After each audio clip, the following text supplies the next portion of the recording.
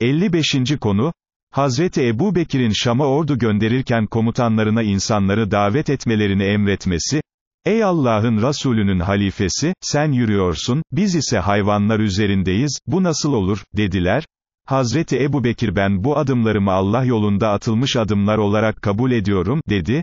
Sonra onlara şu tavsiyelerde bulundu, size önce Allah'ın takvasını yani ondan sakınmayı, korkmayı tavsiye ediyorum, Allah yolunda savaşınız, dünya için değil, Allah'ı inkar edenlere savaş açınız, Allah kendi dinine yardım edecektir.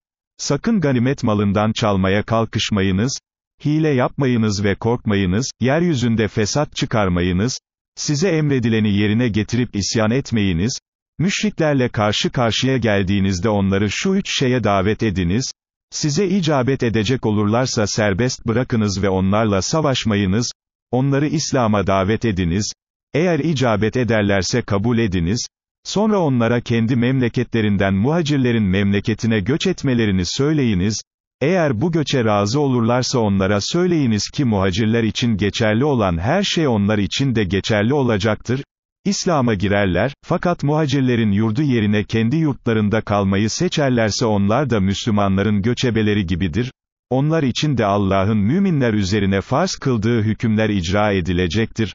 Ancak Müslümanlarla cihada çıkıncaya kadar kendilerine fey ve ganimetten hiçbir pay yoktur. İslam'a girmeyi reddederlerse onları haraç vermeye çağırınız. Bunu kabul edecek olurlarsa onlarla yine savaşmayınız. Yok eğer buna da yanaşmazlarsa Allah'tan yardım dileyerek onlarla savaşınız. Hurma ağaçlarını kesip yakmayınız. Hayvanları öldürmeyiniz, meyveli ağaçlara dokunmayınız, kiliseleri yıkmayınız, çocukları, ihtiyarları ve kadınları öldürmeyiniz, siz kendilerini ibadethanelere adamış bazı kimselere rastlayacaksınız, onları kendi halleriyle baş başa bırakınız, onlara dokunmayınız, başları ortasına şeytanın yuva yaptığı, yani başlarının ortasını tıraş edip diğer taraflarını bırakan bazı kimselere rastlarsanız böylelerinin boyunlarını vurunuz, çünkü bu bir paroladır.